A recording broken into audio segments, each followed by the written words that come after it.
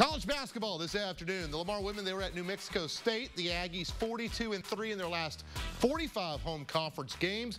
We're going to pick things up in the fourth after Lamar led this one by as many as 10 in the first half. Anisha Gibbs going to drive and deliver. LU down by four points at this point. Now, moments later, how about Gibbs again? The scoop to the hoop as she drives through the lane around the defender, gets that one to fall, and it is a two-point game. Cardinals on the move now on the other end after an Aggie miss. Malay McQueen just out hustling the defense here, and all of a sudden we are all tied up.